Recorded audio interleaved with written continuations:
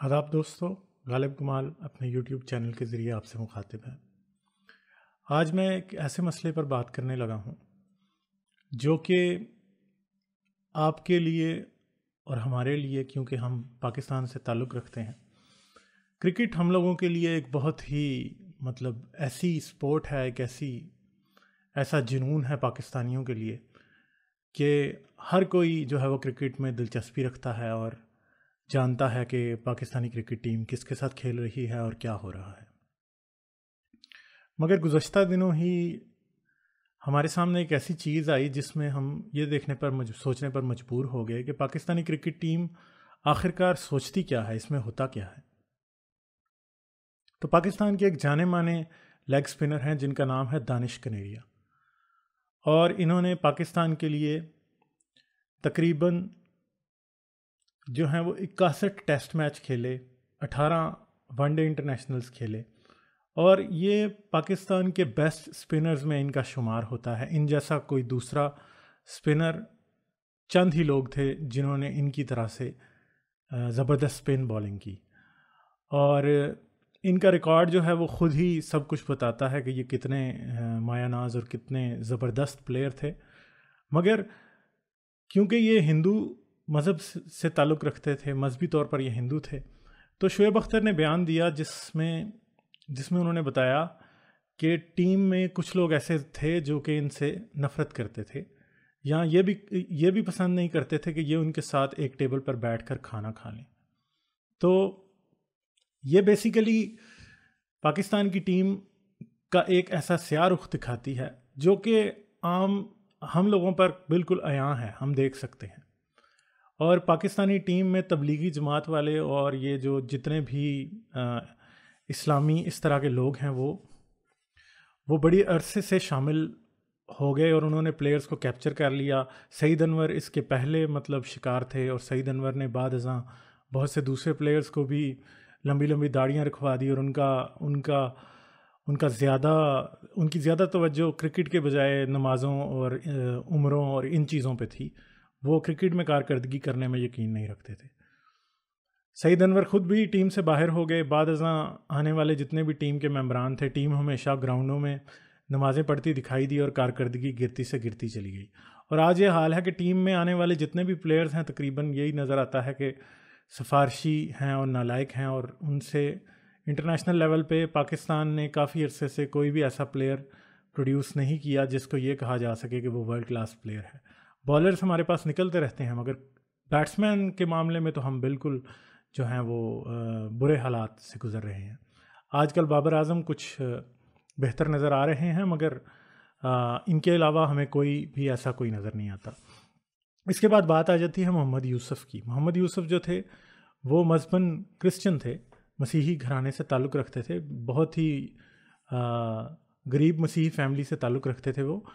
और उनको भी टीम में वो इस बात उन्होंने अभी ये बयान दिया है कि उन्हें टीम में जो है उन्हें कभी कोई किसी इस तरह की मजहबी नफ़रत का सामना नहीं हुआ। मगर आ, मैं ख़ुद इस बात को जानता हूँ कि पाकिस्तान में लाहौर में एक मैच खेला जा रहा था और जब मोहम्मद यूसुफ बैटिंग के लिए पिच पर तशरीफ़ लाए तो पाकिस्तान की अपनी आवाम जो है वो चूड़ा चूड़ा के नारे लगा रही थी। और पाकिस्तान और हिंदु, हिंदुस्तान में रहने वाले लोग अच्छी तरह से समझते हैं, चूड़ा किसको कहते हैं।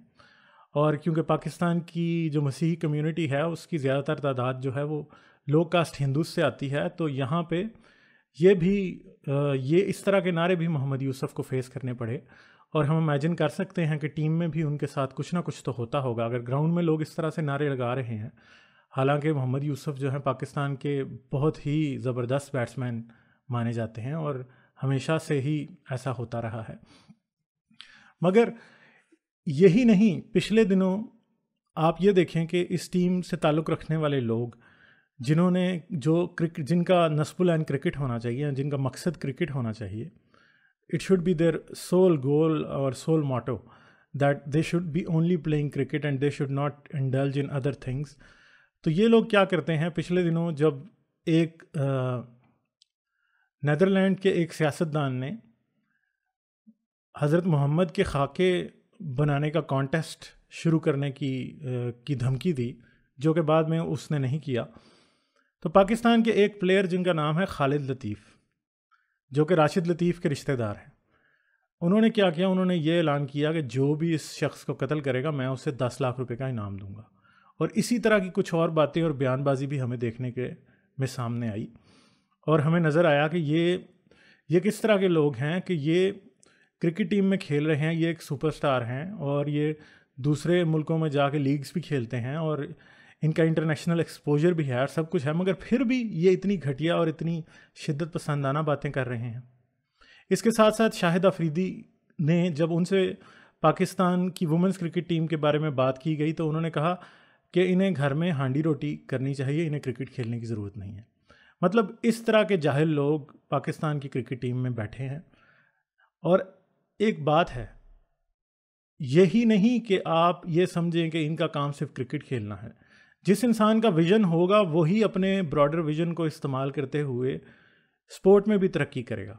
दूसरा इंसान नहीं कर सकता। आज ये स्पोर्ट कितनी आगे पहुँच चुकी है। आज जितने भी हमारे स्पोर्ट्समैन, किसी भी मुल्क के जो स्पोर्ट्समैन होते हैं they are basically ambassadors of that country मगर हम लोग कैसे एम्बेसडर्स प्रोड्यूस कर रहे हैं?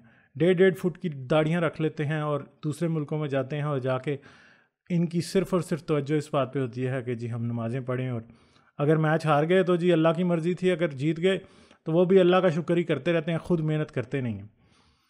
बांग्लादेश और श्रीलंका और मतलब इस तरह की टीमें जो, जिस वक्त जो टीम कमज़ोर रही, गो कि श्रीलंका की टीम बहुत अच्छी है। और बांग्लादेश की टीम भी आजकल बहुत ज़बरदस्त है, बल्कि मैं कहता हूँ पाकिस्तान से बेहतर वो हैं। तो जब ये जीतते हैं तो तब ये माशाल्लाह और अल्लाह का शुक्र है और शुरू करता हूँ अल्लाह के नाम से कर लेते हैं और जब हार जाते हैं तो तब भी ये नमाज़ पढ़ के और ये भूल जाते हैं कि हमने क्या क्या गलतियाँ की। और बस रोज़रियाँ और तस्वीयाँ ये इसीलिए पढ़ते रहते हैं कि अल्लाह हमें अगले मैच में अच्छा स्कोर करे और दे और ये मेहनत करते रहें। और पाकिस्तानी क्रिकेट टीम की जो बुनियादी तबाही है, बल्कि पाकिस्तानी माशरे में आज नौजवानों की भी एक ज़बरदस्त किस्म की तबाही जो है, मौलाना तारक जमील की वजह से हुई है। क्योंकि वो इन लोगों को एक इस तरह के, इस तरह के बेनाइन किस्म के और इस तरह के लोग बना रहा है, जो कि सिर्फ़ यही सोचते हैं कि दुनिया में जो कुछ भी हो रहा है, वो अल्लाह की नेमत ही है और अल्लाह की रहमत ही है। इसके अलावा आपने ख़ुद कुछ नहीं करना। और यही हमें पाकिस्तानी टीम में एक बहुत लंबे अरसे से नज़र आ रहा है। एक वक्त था जब इमरान खान और, गो के इमरान खान भी आजकल तस्वीर पढ़ते नज़र आते हैं और पीरनी से शादी कर ली है। मगर दूसरी तरफ़ हमें वसीम अक्रम, वकार यूनस, शुएब अख्तर नज़र आते थे, जो कि जो कि सुपरस्टार माने जाते थे और उन्हें सिर्फ़ पाकिस्तान ही में नहीं, हिंदुस्तान में भी, बल्कि पूरी दुनिया में उनकी इज़्ज़त आज भी वैसी की वैसी है। मगर दूसरी तरफ़ सईद अनवर जैसे टॉप स्कोरर भी हैं, जिन, जो आज गुम हो चुके हैं, जिनका रिकॉर्ड तो मौजूद है, मगर क्रिकेट के लिए मज़ीद उनकी कोई खिदमात हमें नज़र नहीं आ रही। तो बात यह है कि sports are just sports. Pakistan में एक ऐसा भी नज़रिया है, मौलवी आज ये भी कहते हैं कि क्रिकेट जो है वो काफरों का काफरों का खेल है और हमें इसको खेलने की ज़रूरत नहीं। क्रिकेट, इवन कि क्रिकेट के ख़िलाफ़ मौलवी फतवे देते हुए नज़र आते हैं।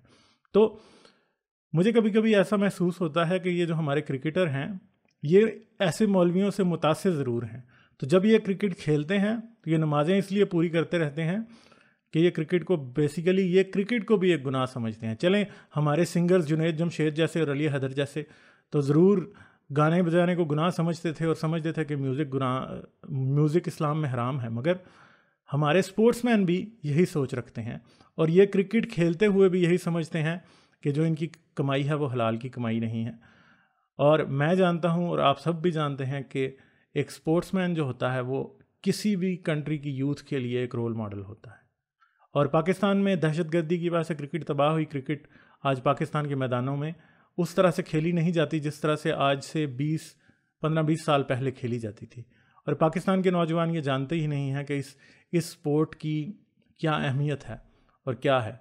और मैं हमेशा यही कहता हूँ अपने दोस्तों से भी और मेरी यही तमन्ना है कि पाकिस्तान की क्रिकेट फलती फूलती रहे, क्योंकि इस मुल्क में लोगों के पास कोई दूसरी इंटरटेनमेंट या कोई ऐसी चीज़ नहीं है जिस पर वो उम्मीद लगा सकें। सिर्फ़ अगर ये क्रिकेट टीम ही जीत जाती है तो लोगों के चेहरों पर जो है मुस्कुराहट आ जाती है। और मैं हमेशा से पाकिस्तानी क्रिकेट को सपोर्ट करता हूँ, और मैं हर उस आदमी से यही तो करता हूँ, जिसको हमारे मुल्क से कोई मोहब्बत है, कोई लगाव है, कि वो पाकिस्तानी क्रिकेट को सपोर्ट करे।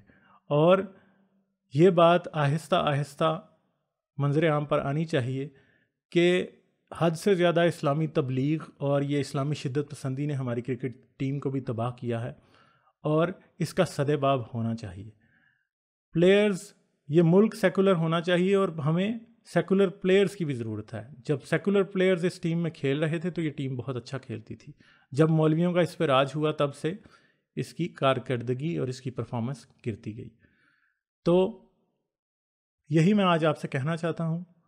तो उम्मीद है आपको मेरी ये बातें पसंद आई होंगी। अगर आपको मेरी बातें पसंद आई हैं तो चैनल ज़रूर सब्सक्राइब करें और वीडियोस को लाइक और शेयर करें और अगर आप चाहें तो आप कमेंट भी कर सकते हैं। तो गालिब कमाल को इजाज़त दीजिए। आदाब।